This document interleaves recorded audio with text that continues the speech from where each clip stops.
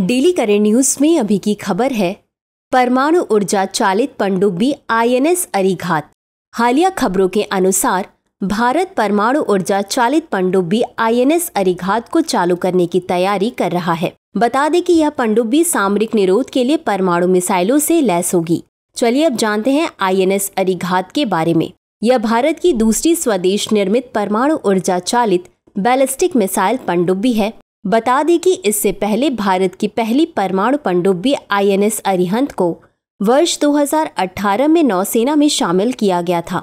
इसका निर्माण विशाखापट्टनम स्थित भारतीय नौसेना के जहाज़ निर्माण केंद्र में किया गया है। गौरतलब है कि यह भारत के परमाणु त्रिकोण का एक महत्वपूर्ण घटक है, जो देश को भूमि, वायु और समुद्र से परमाणु मिसाइलों को प्रक्षेपित करने में सक्षम बनाता है। चलिए अब जानते हैं आईएनएस अरिघात की विशेषताएँ। इसकी लंबाई 111.6 मीटर, चौड़ाई 11 मीटर तथा भार 6000 टन है। बता दें कि इसमें एक साथ ब्लेड वाला प्रोपेलर होगा, जो दबावयुक्त जल रिएक्टर द्वारा संचालित होगा। इस पनडुब्बी की पानी की सतह पर गति 12 से 15 नॉट्स है। बता दें कि यह पानी के अंदर 24 नॉट्स की अधिकतम गति प्राप्त कर सकती है। यह पनडुब्बी 3500 किलोमीटर से अधिक रेंज वाली चार परमाणु सक्षम के फोर मिसाइलों या 750 किलोमीटर रेंज वाली 12 के 15 मिसाइलों को ले जा सकती है।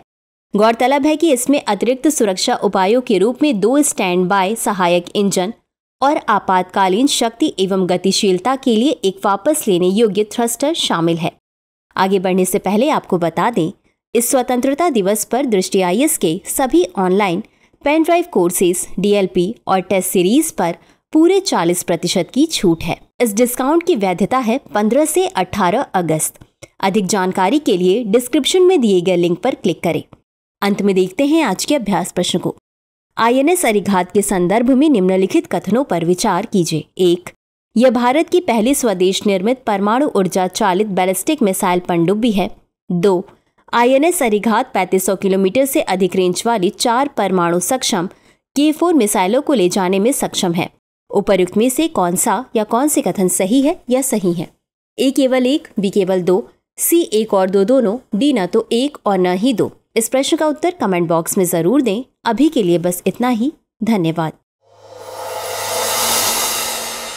डियर व्यूअर्स अपने एग्ज़ाम की तैयारी को और बेहतर करने के लिए हमारे चैनल को लाइक शेयर और सब्सक्राइब करना न भूलें।